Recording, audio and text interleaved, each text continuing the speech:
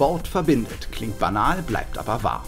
Dieser Wahrheit verpflichtet fühlt man sich auch beim Berliner TSC, dem Verein, der sich die Sportfamilie an der Spree nennt und der aus dieser Familie niemanden ausschließen möchte.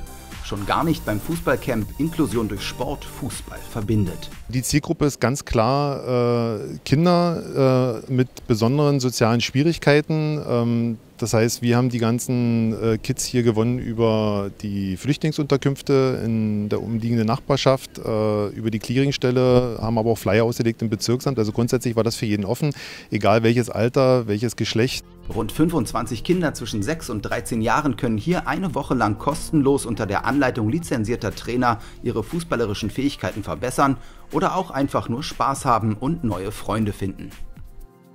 Hier im Fußballcamp da kann man fast eigentlich alles machen. Man spielt Fußball, ähm, man, wir haben mal Volleyball gespielt, wir haben uns nass gespritzt. Beim Spiel habe ich sie angesprochen und dann waren wir den ganzen Tag zusammen. Ja, und wir, und die hat die, wir haben ja Witze ge gesagt die ganze Zeit. Und wir spielen immer Fußball und, und dann machen wir auch ganz viele schöne Sachen dort. Wir spielen dort auch und wir machen alles dort. Angeregt vom Behindertensportverband Berlin und finanziell unterstützt von der Aktion Mensch bekommen die Kids zusätzlich zur Rundumbetreuung auch noch einen Fußball und ein komplettes Outfit.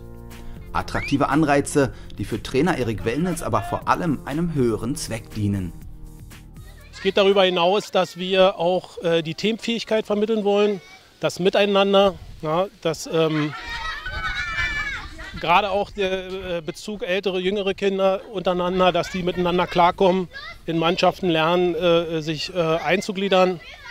Halt diese alten Werte sind uns wichtig. Ja. Für die Jungs und Mädchen ein ganz besonderes Ferienerlebnis beim Berliner TSC und ein tolles Beispiel, wie Inklusion durch Sport funktionieren kann.